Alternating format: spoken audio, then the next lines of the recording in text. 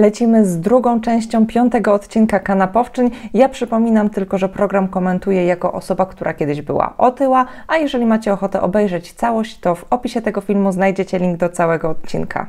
Od rozpoczęcia przez kanapowczynię diety minął już miesiąc i podopieczne Krzysztofa Ferenca zmierzają właśnie na lekarską kontrolę swoich postępów. Byście zjadły najbardziej teraz tak Ja mam całe zapiekane ziemniaczki, takie budeczki, takie w piekarniczku z takimi przyprawami. No, tylko? Super. Być Zapiekane ziemniaczki, fantastyczna sprawa. Ziemniaki mają bardzo wysoki indeks sytości, do tego właśnie z piekarnika, czyli bez tego dodatkowego tłuszczu, no po prostu cudo. Warto pamiętać o tym, że ziemniaki mają taki średni indeks glikemiczny, więc można go obniżyć, dodając właśnie białko i bilansując taki posiłek w tłuszcz. Wtedy zmniejszamy ładunek glikemiczny całego posiłku. Miodzia, po prostu cycuś, glancuś, najlepsze jedzonko na świecie. I do tego na diecie. nawet kebab. Jezu! Dziewczyny, jak tam nastroje przed doktorkiem?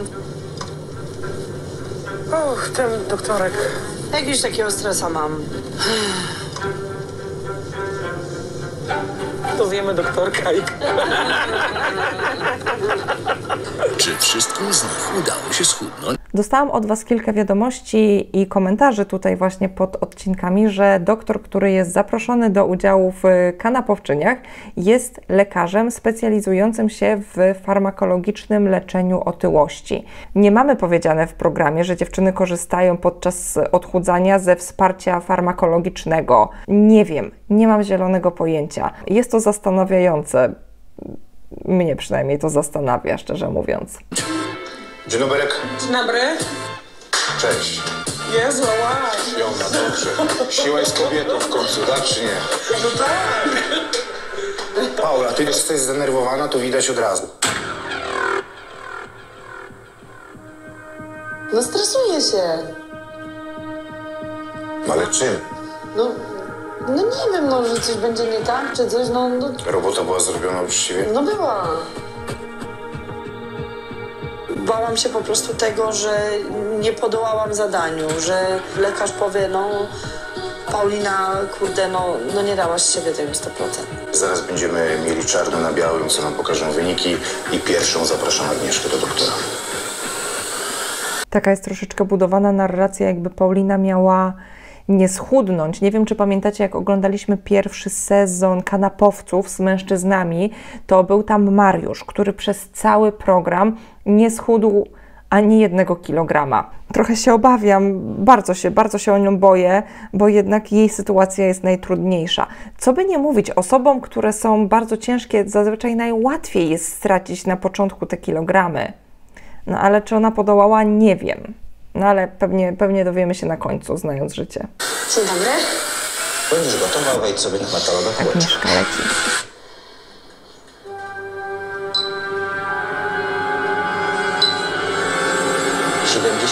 i 7. Bardzo ładnie.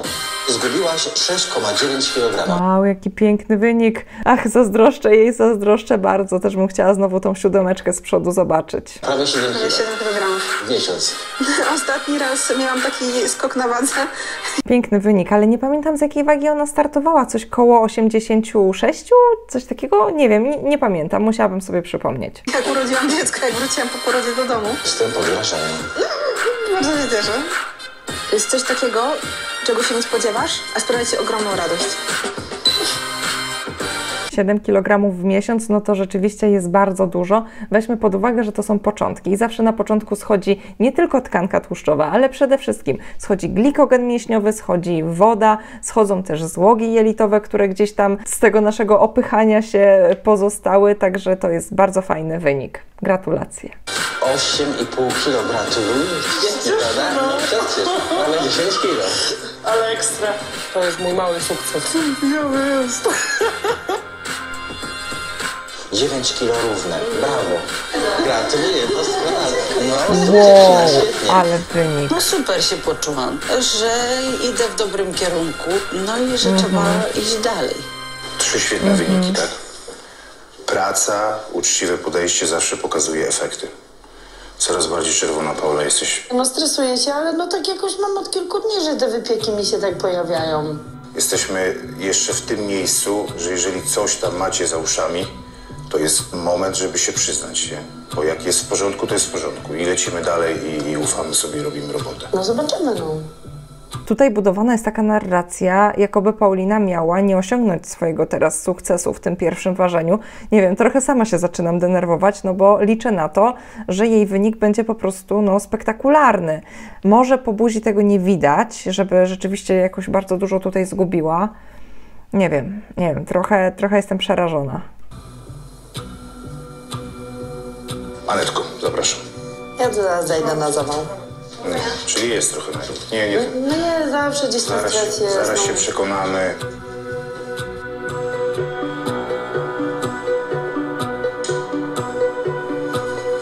Aneta na różowo.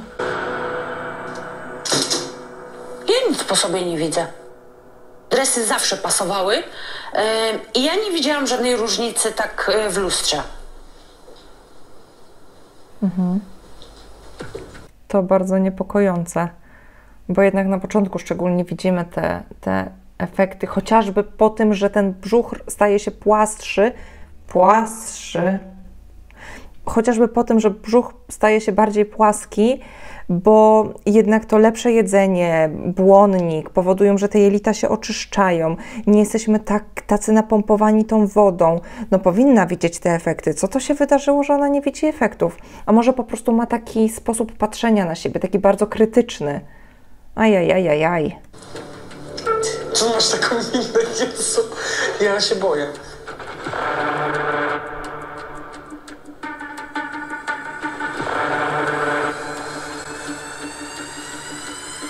Ile stawiacie? 8, 7, 7.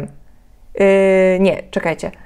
Ja stawiam, że ona schudła, bo ona na pewno schudła. Widać już po oczkach, widać te iskiereczki po oczkach, te diabełki, że tam na pewno jest jakiś gigantyczny sukces, tylko po prostu chcę zrobić tutaj takie, yy, taką napiętą atmosferę i efekt wow później. Dobra, da, daję 7 kg, 7, tak bezpiecznie.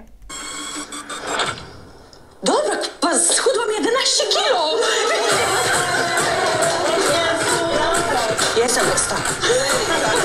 No, udana wkrętka, udana. Nie spodziewałam się, że to może być Mam taki ciary! Zadowolona, dumna, szczęśliwa. Bardzo, bardzo, bardzo. Nie miałam ani jednego grzechu i jak... e, 11 kg! Łocie panie drogi, ale mam ciary na rękę. Ogóle. Dziewczyna rozwala system jak na razie. I tak, możecie powiedzieć, że to jest bardzo dużo, że powinno się chudnąć 1 kg na tydzień, że to jest zdrowe odchudzanie. Jeżeli mamy osoby z otyłością, szczególnie z otyłością drugiego, trzeciego stopnia, to najważniejsze jest, żeby te osoby schudły jak najszybciej, dlatego że jest to bardzo duże obciążenie, taka otyłość, chociażby dla serca, dla układu hormonalnego również. Także to odchudzanie, tak, oczywiście ono musi być racjonalne, ale jeżeli mówimy o osobach z otyłością, no to warto jest, żeby jak najszybciej zredukowały swoją e, tą nadwagę, taką po, poważną nadwagę. 11 kg szapoba, po prostu szapoba. Było napisane na kartce, tak to trzymałam cały miesiąc, koniec, kropka. Mega wyniknie. Mega. No widać, że ona jest bardzo zdeterminowana, ale też takie zero-jedynkowe podejście niestety może powodować, że w którymś momencie się złamiemy i po prostu rzucimy na te produkty z tej listy tych produktów zakazanych. Także jestem pod gigantycznym wrażeniem, widać, że ma silny dziewczyna charakter, ale pytanie na jak długo? Czy będzie w stanie w takich restrykcjach wytrzymać do końca programu? Paula. Tak słuchałam, że jedna schudła 8, druga schudła 11. No i ciągle były te myśli, kurde, a jak ja tam pójdę, jestem ostatnia, to taki najgorszy czas. Ale chyba coś zrzuciła, no. No jednak naj, naj, naj, to gdzieś tam jest tam naj, najcięższa, prawda? To prawda, że jesteś najcięższa, jesteście inne, inaczej będziecie chudły w inny sposób. Natomiast Cenna uwaga, trenerze, super, że o tym mówisz. To też dla nas, jako odbiorców programu, jest ważne, żebyśmy mieli świadomość, y, że dziewczyny są różne i żebyśmy ich nie porównywali do siebie. dziewczyny, cztery przed tobą, twoje koleżanki pokazały, że jak się uczciwie podchodzi do tematu, wynik tylko utwierdza nas w przekonaniu, że tak jest. Jeżeli jest również u ciebie tak, to wynik pokaże, że tak jest. No, to idziemy. Tak, to idziemy, zapraszam. To idziemy. Powodzonka. Kciuki trzymam, kciuki. Człowiek czuje się niewinny, ale gdzieś tam, ja po prostu nawet nie wiem, dlaczego taki stres. No, no na pewno bałam się wejść do tego doktora. Wejdź sobie. Jeszcze się tylko nie trzymaj tych uchwytów. Dobrze, i teraz się proszę chwyć. Czyli 135 i 9, czyli w zasadzie 136, a miałaś 148, więc mamy 12 kilo w dół. Świetnie. Zejdź sobie z. Gratuluję, Paulinka. Super, dziewczyna, super. Było to bardzo fajne uczucie, że kurde, dałam z siebie te 12 kilo poszło. Niesamowity wynik, aż się wzruszyłam, dlatego że ja się z nią utożsamiam. Po pierwsze, ma tak samo na imię jak ja, a po drugie, no ja też miałam tą otyłość trzeciego stopnia. Nasze BMI gdzieś tam jest podobne, Pauli troszeczkę wyższe ni niż moje. Moje BMI najwyższe to było 140, o Jezu, co ja gadam, 45. Naprawdę, życie z taką dużą otyłością nie jest łatwe. Nie jest łatwe, więc doceńmy to, że naprawdę tutaj się postarała. Doceńmy to. Ważyłaś, co? A to dopiero początek. Ty nie umiesz emocji trzymać. 12 kilo mniej.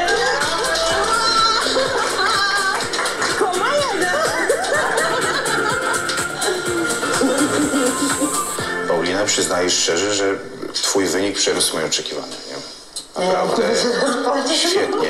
No, trenerze, tak troszeczkę ją gnoiłeś, tak troszeczkę dawałeś jej do zrozumienia, że tutaj może najmniej się stara, a wynik pokazuje, że, że się starała.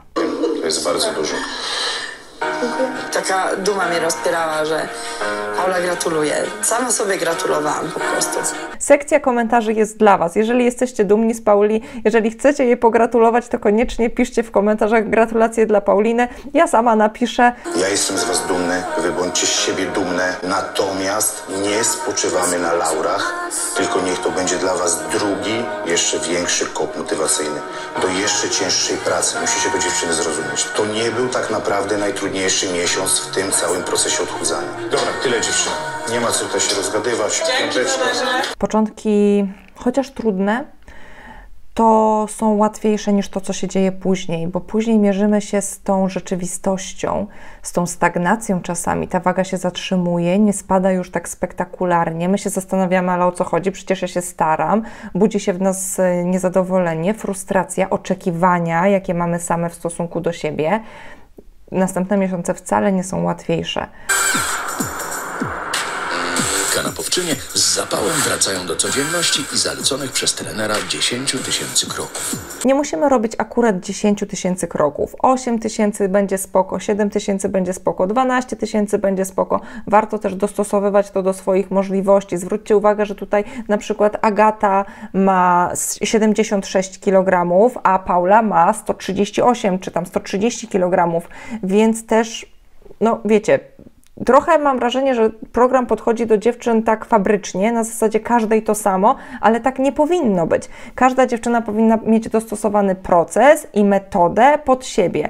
10 tysięcy kroków spoko, jak najbardziej warto jest chodzić, warto jest robić te kroki. To jest najlepsza aktywność, jeżeli chodzi o osoby z insulinoopornością, jeżeli chodzi o osoby z nadwagą, z otyłością. Tak naprawdę dla wszystkich, nawet dla osób szczupłych i zdrowych. Chodzenie to jest po prostu bajka, bajka. 6 tysięcy kroków zrobimy. Może, może mniej? No z kruchami jest tak ciężko, bo, bo ciężko jest się wywlec z tego domu. Ciężko jest ruszyć tyłek i po prostu iść. Niektórzy iść muszą, choćby z psem na spacer, ale nowe długie dystanse zaskakują nawet czworonogi. Ojej, ojej, ojej, ojej, co tutaj się odbywa? Nie ciągnij go, nie ciągnij tego biedaka. On nie może iść, chyba go bolą stawy. No niestety te psy rasowe mają to do siebie, że czasami mają te dysplazje stawów i tak dalej. Ja mam kundelki i powiem Wam szczerze, że one są po prostu, no powiedziałabym prawie, że niezniszczalne. Prawie, że, prawie, że niezniszczalne. Także jednak kundelki górą. Nie dyskryminujemy piesków na, ze względu na rasę. Nie robimy tego. Kanapowczynie, które przez ostatnie dekady nie ruszały się prawie wcale, muszą nadrobić stracone lata i codziennie wyrabiają aż 10 tysięcy kroków.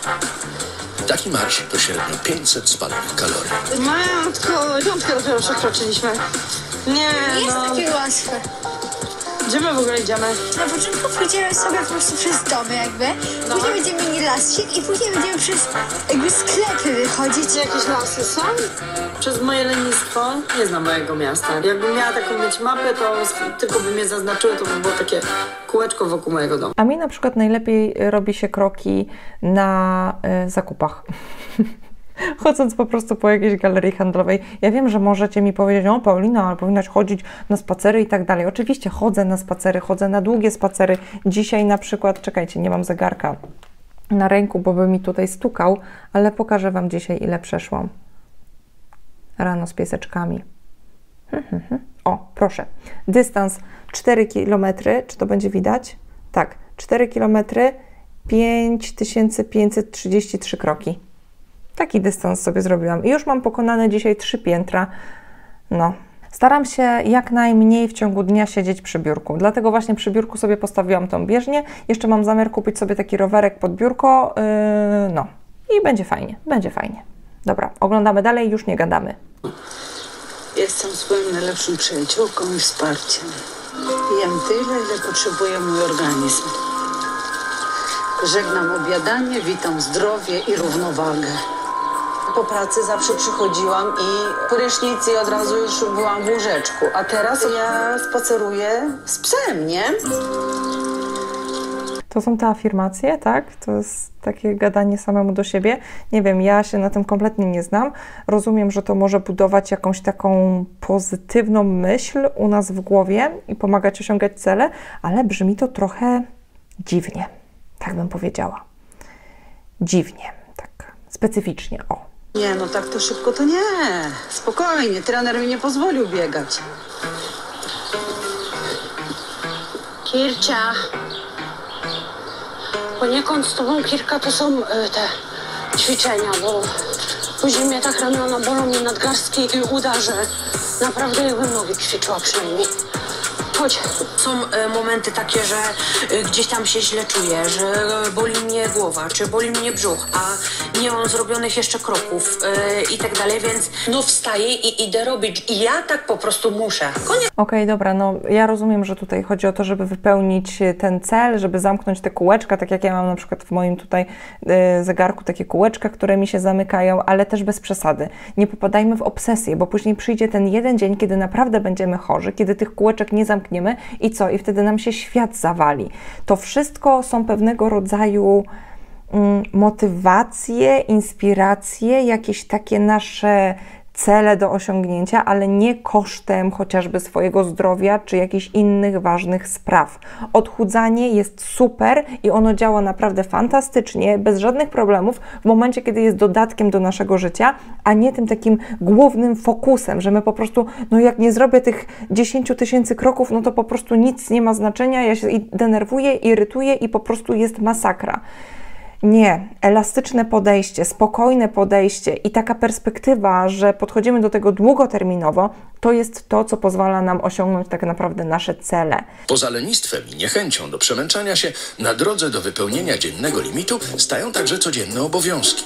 Jednak potrzeba matką wynalazków. Jak jestem w domu z dziećmi, to wtedy mam największy problem, bo jednak chodzenie w, te, w tej po, po mieszkaniu to nie jest aż tyle, żeby wyrobić tyle kroków. To akurat było bardzo ciekawe, co tutaj powiedziała Agnieszka, bo bardzo często mamy takie poczucie, że no przecież ja jestem cały dzień na nogach, ja przecież cały dzień chodzę, ja przecież tutaj robię, ogarniam, sprzątam i tak dalej, i tak dalej. Nam się wydaje, że robimy nie wiadomo co, ale tak matematycznie no to jednak te nasze osiągnięcia, y, powiedzmy, sportowe, aktywnościowe nie są aż tak spektakularne, jak nam się wydaje. No bo my czujemy, że robimy, wiecie, no mnóstwo rzeczy, jesteśmy cały czas aktywni, jesteśmy cały czas na nogach i przeliczamy się w tym. I to dotyczy także diety, jedzenia, bo wydaje nam się, ojej, ja tak jem malutko jak wróbelek, po prostu ledwo co, jak, jak malutki koteczek, tutaj sobie coś skubnę, a w międzyczasie wpada na przykład orzeszek, kawałek serka, kawałek kiełbaski, jakiś cukiereczek, ciasteczko, kaweczka, no to musi być też coś słodkiego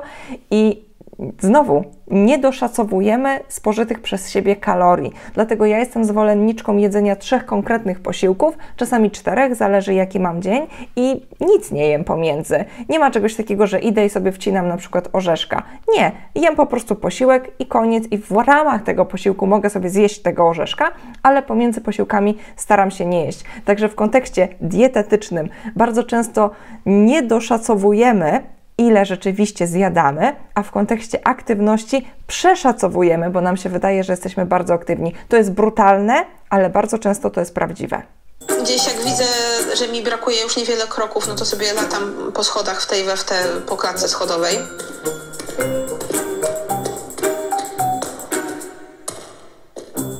I wyrobiłam je w końcu. Myślałam, że się nie uda, ale się, ale się udało. Spoko, ale to już jest delikatne wariactwo, ale okej, dobra, spoko, rozumiem. Niełatwo jest też Alicji, dotychczas zamawiającej taksówkę nawet na minimalne dystanse. Kelnerka stara się łączyć przyjemne z pożytecznym i kroki wyrabia buszując po sklepach. O, o, o, o, i to, to, to, to my byśmy się z Alicją tutaj idealnie porozumiały. Mogłybyśmy sobie razem chodzić na zakupy i w ten sposób robić kroki jak najbardziej. Miejmy nadzieję, że w tej galerii tradycyjnych schodów po prostu nie było. Jezus Chrystus.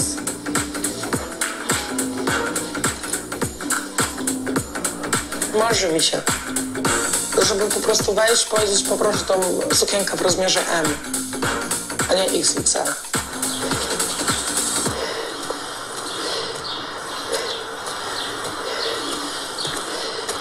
Boże, jeszcze nie ma ośmiu.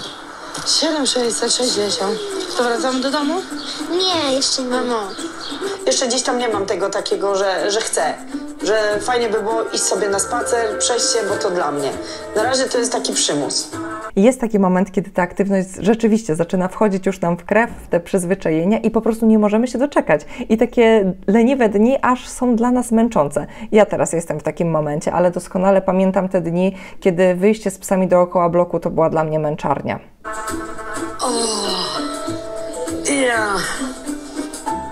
Bolą mnie nogi. Coś. Zmarzłam. Nie chcę mi się iść herbaty robić. Dziecię robić? Nie chce mi się. Ja, moja ulubiona. Robić cytrynką. Jeżeli podobał Wam się mój komentarz do programu, to nie zapomnijcie zostawić łapki w górę oraz komentarza. Oraz sprawdźcie, czy subskrybujecie, to również bardzo ważne. Dziękuję i widzimy się następnym razem. A, jeżeli macie troszeczkę czasu, to nie zapomnijcie sprawdzić innych moich filmów na kanale.